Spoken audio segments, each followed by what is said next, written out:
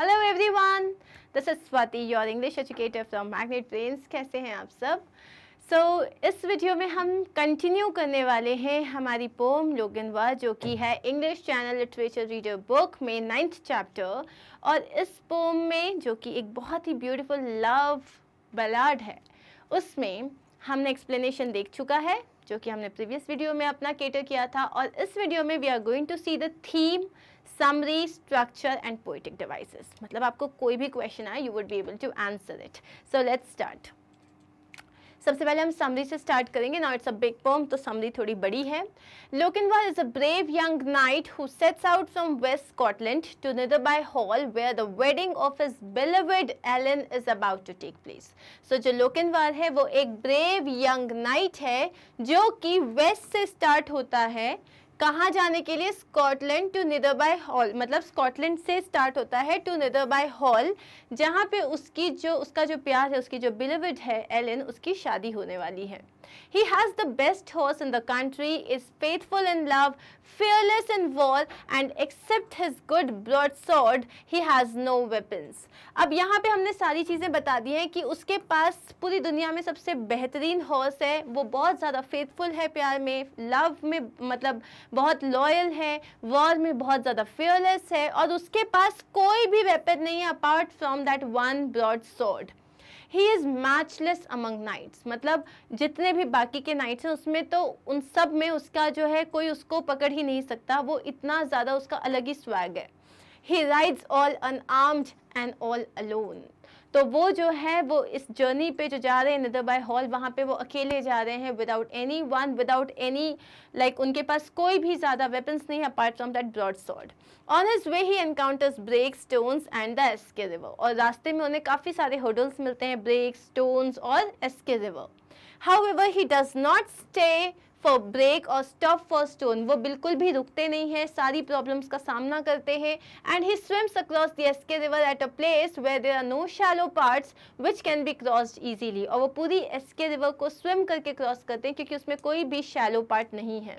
He arrives late at Netherby Hall where the bride has already given her consent to marry another man.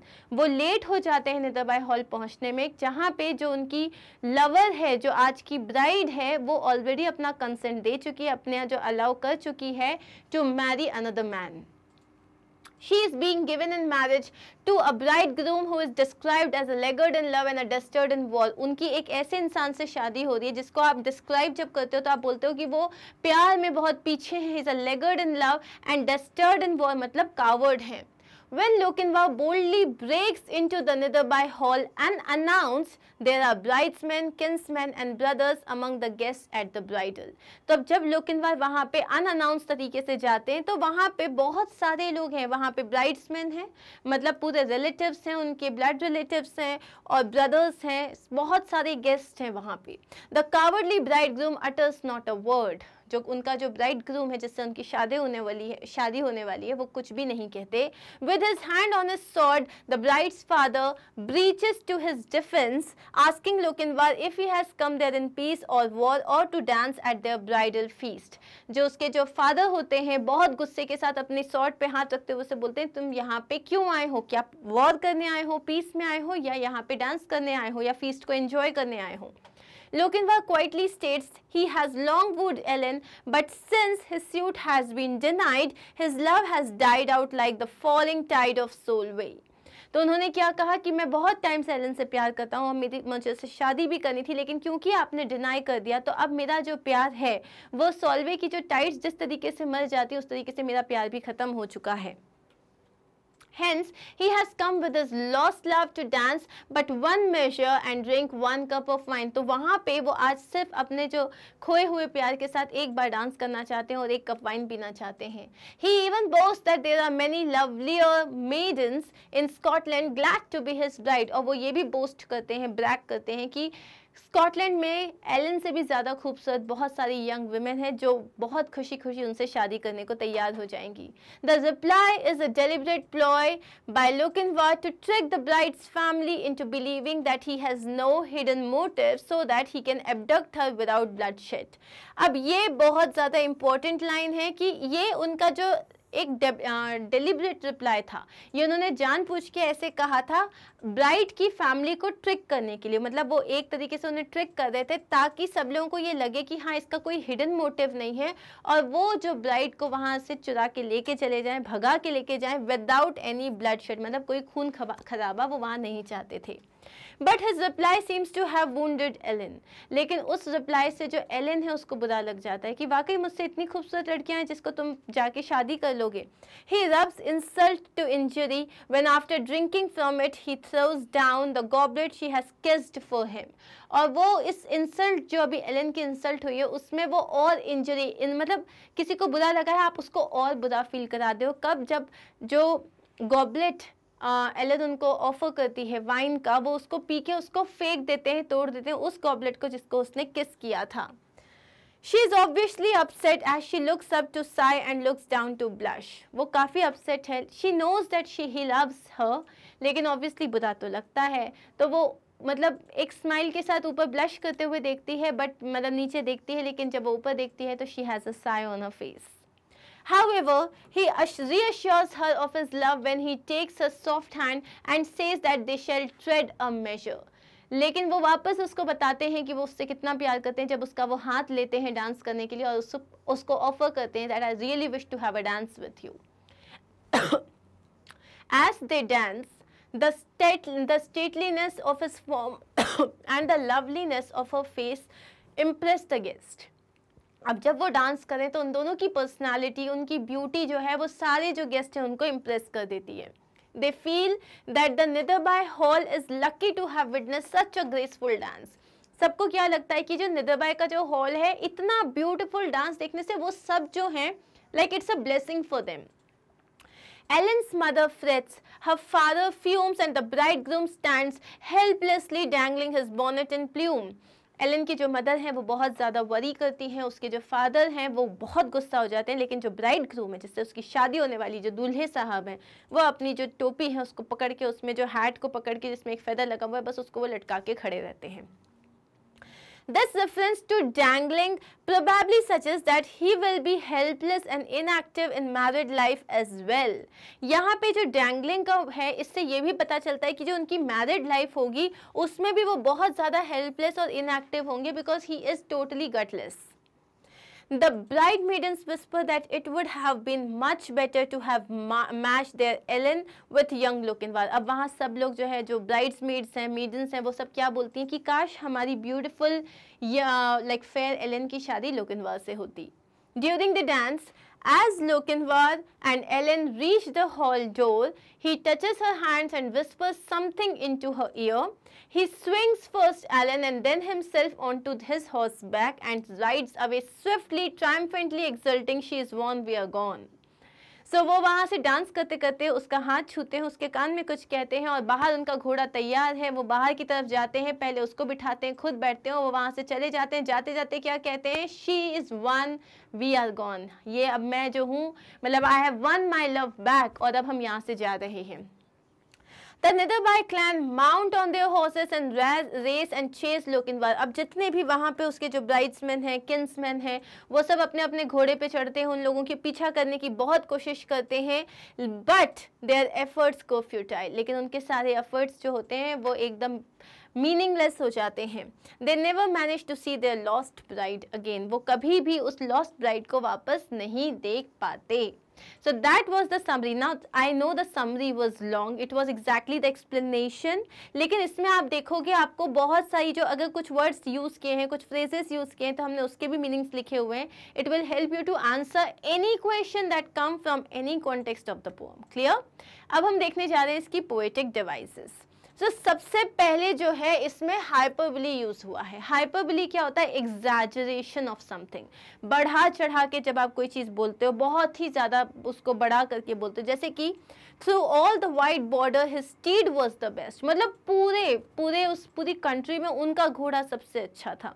अब ऐसा नहीं होता है। ये क्या है? ये आप एग्जैजरेशन कर रहे हो बहुत बड़ा चढ़ा के बता रहे हो। Similarly there was never knight like the young वार आज तक पूरी दुनिया में जो है, अभी तक जो है, लोकिनवा जैसा कोई नाइट था ही नहीं।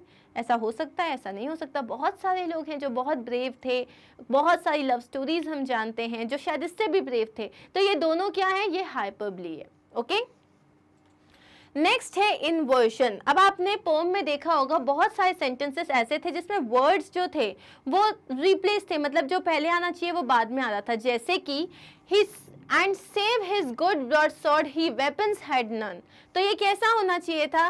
That he did not have any weapon and he had only one good broad sword लेकिन क्या है? जो पहले आना चाहिए था, वो बाद में आया जो बाद में आना चाहिए था, वो पहले आया था। इस वाली पोइटिक डिवाइस को आप बोलते हो inversion he swam the Esk ford there was none where there was none तो आप इसको कैसे बोलोगे एग्जैक्टली exactly? आप ऐसे बोलोगे कि there was no ford and he swam the Esk river तो ये अगेन यहाँ पे ये इन्वर्शन का केस है. तो ये दोनों आपके किसके आंसर्स हो जाते हैं? किसके एग्जाम्पल्स हो जाते हैं? इन्वर्शन के. दीज सेंटेंसेज यूज़ इन्वर्शन और the change in the expected word order मतलब वर्ड ऑर्डर जैसा चलना चाहिए, उसमें चेंज है, उसको आप इन्वर्शन कहते हो.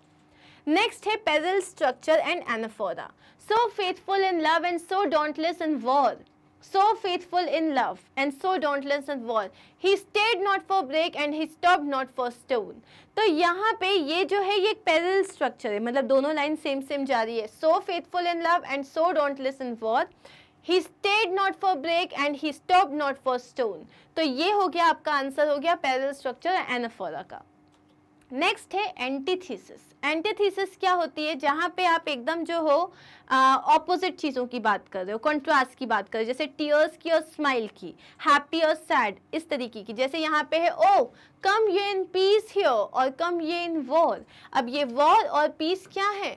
ये एकदम एंटीनम्स हैं, ये एकदम ऑपोजिट वर्ड्स हैं तो इसको आप बोलते हो antithesis with a smile on her lips and a tear in her eyes तो स्माइल और टीयर की बात हो रही है, एक ही लाइन में दो ऑपोजिट वर्ड्स यूज़ हो रहे हैं, इसे आप कहते हो एंटीथीसिस नेक्स्ट जो आपके पास पोएटिक डिवाइस है, वो है rhetorical question have you ever heard of gallant like young Lochinvar rhetorical questions वो क्वेश्चंस होते हैं जो आंसर आपको नहीं करने होते. They are just dramatised version जो आप किसी चीज़ को प्रूव करने के लिए, किसी चीज़ को एम्फोसाइज करने के लिए पूछते हो कि क्या आपने कभी कैसा देखा है? तो आपको ये नहीं बोलना है हाँ देखा है या नहीं देखा है. It is a question which is not to be answered it is only to dramatise everything ज़्यादा ड्रामा क्रिएट करने के लिए आप रिटोरिकल क्वेश्चन करते हो. क्लियर अब है एलिट्रेशन और to dance at our bridal young lord Lochinvar so यहाँ पे और at our bridal lord Lochinvar यहाँ पे जो है एक लाइन में जब कॉन्सोनेंट साउंड्स रिपीट होते हैं, उसे हम कहते हैं अलिट्रेशन जैसे कि she sells sea shells sea shells अब यहाँ पे अगर आप देखोगे एस का साउंड रिपीट हो रहा है तो एक ही लाइन में जब कोई कॉन्सोनेंट साउंड रिपीट होता है, उसे आप कहते हो अलिट्रेशन तो यहाँ पे लॉर्ड लोकिनवार एल का साउंड रिपीट हो रहा है और to dance at all bridal so यहाँ पे भी ओ का साउंड रिपीट हो रहा है. फर्स्टर्स फेनविक्स फ का साउंड रिपीट हो रहा है. दे रोड एंड दे रैन यहाँ देखो they rode and they ran rode और रैन ये भी रिपीट हो रहा है. For the laggard in love and a dastard in war. So laggard in love, ल का sound repeat रहा है। तो अगर यहाँ पे this is all your alliteration example, ठीक है? अब आते हैं हम आगे इसकी थीम पे। इस पूरी जो पोम की थीम क्या थी? ड्यूरिंग द मिडल एजेस मतलब मिडिल एजेस के टाइम पे गर्ल्स को कभी भी अपना पार्टनर चूज़ करने की कोई आ, कभी भी उनको वो आज़ादी दी ही नहीं जाती थी। Girls did not possess the right to choose their husbands the girl was given in marriage to a boy selected by the girl's parents मतलब जिसमें भी गर्ल को मतलब उसको, उसी से शादी करनी पड़ेगी जिसको उसके पिता ने चूज़ किया है। Neither love nor the choice of the girl was considered important ना प्यार कंसिडर किया जाता था कि ये इंपॉर्टेंट है, ना उसकी चॉइस कंसिडर किया जाता था, पूछा भी नहीं जाता था। In most cases the bride and the groom met for the first time only at the marriage ceremony most of the cases में दुल्हा दुल्हन मिलते ही किस दिन थे? जिस दिन उनकी शादी होती थी। उसके पहले वो एक दूसरे को देख भी नहीं पाते थे। अब मोबाइल फ़ोन्स तो होते नहीं थे कि आपने जो है वीडियो चैट कर लिया, या एक आध स्नैपशॉट पे देख लिया मतलब स्नैपचैट पे देख लिया, फेसबुक पे देख लिया, इंस्टाग्राम पे स्टॉक कर लिया। वेस्ट वाले तो सीन था नहीं वहाँ पे।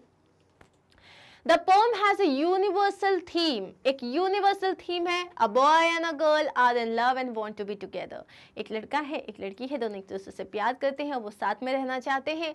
The families apparently don't support their love और फैमिलीज़ उनके प्यार को सपोर्ट नहीं करती. The girl's family try to give her in marriage to another boy जो गर्ल की जो फैमिली होती है, वो चाहती है कि उसकी एक दूसरे लड़के से शादी हो जाए, जो कि उसकी फैमिली के हिसाब से अप्रोप्रिएट है. The lover appears just in time and run away with his girl leaving others fuming जो आप लवर है, वो एग्जैक्टली exactly मौके पे आता है और मौके पे आके गर्ल को वहाँ से उड़ा के ले जाता है और सारे के सारे लोग देखते देखते रह जाते हैं, गुस्सा होते रह जाते हैं, लेकिन क्या है, दोनों तो भाग गए। तो ये एक यूनिवर्सल थीम है, इस पर बहुत सारी स्टोरीज बन चुकी है, बहुत सारी मूवीज़ बन चुकी है, लेकिन आज भी जब वो लोग भाग जाते हैं वेन दे आर टुगेदर हमें खुशी बड़ी होती है। So that was our poem अब इसका स्ट्रक्चर भी देख लेते हैं। The poem Lochinvar is written in iambic tetrameter. अब एम्बिक टेट्रामीटर मतलब क्या होता है कि इसमें जो है आठ सिक्स लाइन स्टैंडर्स हैं। एट स्टैंडर्स हैं इसमें सिक्स लाइन स्टैंडर्स हैं। The rhyme scheme employed in the poem is A A B B C C अभी जो इसमें पूरी जो पोम में राइमिंग पैटर्न है इसका, वो है हर दो लाइन जो है वो दे साउंड सेम एक, इसमें सिक्स लाइन्स हैं। सो so, सारे जो कपलेट्स हैं, उनका सेम राइमिंग पैटर्न है। Each stanza consist of three rhyming couplets तो हर स्टैंडा में क्या है? थ्री राइमिंग कपलेट्स हैं। The last lines of the stanza of the poem end with in और अगर आप इसको नोटिस करोगे, हर स्टैंडा का जो लास्ट वर्ड है लास्ट लाइन का लास्ट वर्ड वो क्या है? लुक इन पे ही खत्म होता है। तो आपको इसमें स्ट्रक्चर में क्या याद रखना है? पहली चीज़, आपके पास टोटल एट स्टैंडर्स हैं, जिनमें हर, में सिक्स लाइन्स हैं। हर सिक्स लाइन्स में जैसे आपके पास one, two, three, four, five, six तो इसका इसका लास्ट वर्ड राइम कर रहा है? इसका इसका लास्ट वर्ड राइम कर रहा है और इसका इसका लास्ट वर्ड राइम कर रहा है? तो आपके पास थ्री कपलेट्स हैं। कपलेट्स मतलब दो लाइन्स जो साथ में राइम कर रही है। सो थ्री कपलेट्स हैं एक स्टैंडा में। क्लियर और ऑल्सो कौन सी राइमिंग स्कीम है? ए ए बी बी सी सी ये आपकी राइमिंग स्कीम हो जाती है। हर लास्ट वर्ड जो, हर स्टैंडा का जो ये लास्ट लाइन का लास्ट वर्ड है, ये लुक इन बार है। दैट्स इट क्लियर सो ये हो गया हमारा structure I hope you understood this well तो हमने इसमें समरी देखी पोइटिक डिवाइसेस थीम और structure in our next video we are going to start with question answers of this chapter of this lovely poem I should say and I hope you understood this very well अगर आपको कोई भी doubt है तो you can ask in the comment section and if you find it good do not forget to like it subscribe it and share it with your friends. sharing is caring right also you can visit our website which is magnetbrains.com where you can find the entire playlist it will be very easy for you to find the next chapter question answers and summary you can you only have to go click on the courses click on class 7 जैसे आप class 7 में click करोगे all the uh, subjects will appear click on class 7 English channel literature reader That thing the moment you click आपके पास chapter wise सारी जो play list है, वो अपेयर हो जाएगी। You will click on the chapter that you wish to study and the video will appear that's it guys thank you so much here we are done and this is question answer but ये हम करेंगे अगले video में. Take care of yourself bye